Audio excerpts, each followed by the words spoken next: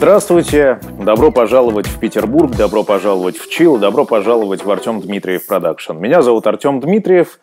А, наконец-таки мне удалось сделать то, что я давно так хотел, а именно настроить звук и свет. У программы Chill появляется не только голос, но и конкретно лицо. И, конечно, позволяет нам э, общаться абсолютно на разные темы. Я призываю вас э, оставлять комментарии под этим видео или в группе ВКонтакте, или в группе на Facebook, которую я недавно организовал, или на сайте chillrusha.ru. Любые вопросы, которые вас беспокоят, я буду рад на них дать ответы в следующих видеообращениях. Прежде чем мы перейдем к вопросам, э, я зачитаю отзыв, который я получил на сайте chillrusha.ru э, на программу Chill. Пишет Атаман Канакбеков. Привет, Артем. Подписан на ваш подкаст около года. Ужасно все нравится, а главное по душе. Спасибо вам. Несколько пожеланий. Такие подкасты, как «Йога и река жизни», очень завораживают. Хотелось бы больше таких космических, расширяют дух нереально. «Река жизни» Сегодня как раз тот самый день, когда этот подкаст как никогда необходим моим ушам. Безупречная подборка треков. Тоже надеюсь, что этот подкаст не единичный, жду повторений. Еще раз благодарю за ваше внимание и работу. Все будет чил. Атаман, спасибо за ваш отзыв. И вообще, э, я говорю всем спасибо, кто э, пишет отзывы в разных э, местах по поводу реки жизни и йоги, и тела, и души. А, так случилось, что вот я экспериментирую с этими форматами в последнее время, и надо сказать, что мне они очень нравятся. И я, конечно, буду продолжать, как и пойду в сторону экспериментов с книгой. Есть мысли читать какие-то фантастические рассказы. Это просто ну, некий сплав музыки и определенного умонастроения, неких мыслей, да, которые хорошо друг на друга легли. Мне они очень по душе, повторюсь.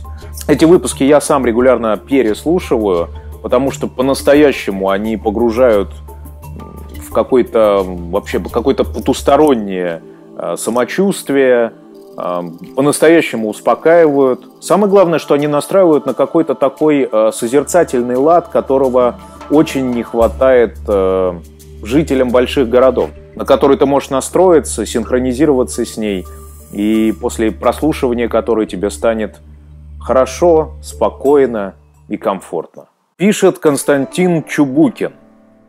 Сколько времени у тебя занимает поиск музыки? Программы ведь... Э, хронометраж программы один час, а вот сколько у тебя времени занимает именно поиск музыки? Программа Chill и ее изготовление — это в некотором смысле образ жизни, потому что это бесконечный процесс изготовления, поиска новой музыки, нового изготовления. Но если вкратце, то новые выпуски я начинаю готовить э, со вторника. Я отбираю новые песни, затем сутки я их слушаю где-то в пути, в дороге, для того, чтобы они, так сказать, вошли в меня, что называется, и поймать ту эмоцию, которую каждая композиция несет.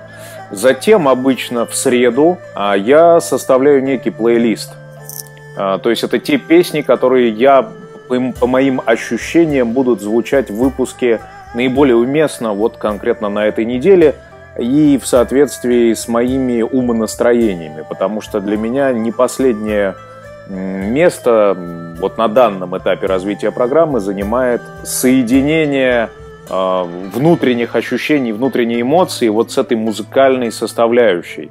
Вот, э, в четверг я составляю окончательный плейлист, придумываю название программы и э, записываю так называемые подводки – и голос, который я к ней начитываю, записываю, я передаю своему звукорежиссеру, который эту программу, собственно, а, собирает в единый, э, в единый вот этот вот часовой микс, и уже вот в этом виде а, вы слышите программу там, где вы ее слышите.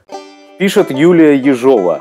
Темы, которые ты затрагиваешь, когда пишешь посты на стене – ты реально так считаешь, когда отвечаешь на комментарии или всего лишь подливаешь масло в огонь и смотришь на все это извне? Просто у тебя бывают жесткие комментарии, я не могу понять, неужели ты такой жесткий или просто даешь людям повод задуматься. А, была тема а, со следующей мыслью. Статистически мужчин а, в России меньше, то почему тогда а, женщины не платят за встречу с этими мужчинами. Ну, ну, то есть это логично. Есть э, правила и законы рынка. В какой-то степени все мы находимся вот на этом брачном рынке. что если того или иного товара мало, то объективно цена на него должна быть выше. Женщины, которые стенают о том, что вокруг них алкоголики, там, импотенты и мужчин вообще нету нормальных э, в доступе, должны приплачивать мужчинам э, за э, встречу с ними. Вот эту вот э, нетривиальную мысль я выразил у себя на стене ВКонтакте и э, получил порядка 300 комментариев. Тема действительно провокационная. В какой-то степени она меня, конечно, волнует, но в большей степени э, мне очень интересно посмотреть, что по этому вопросу думают разные люди.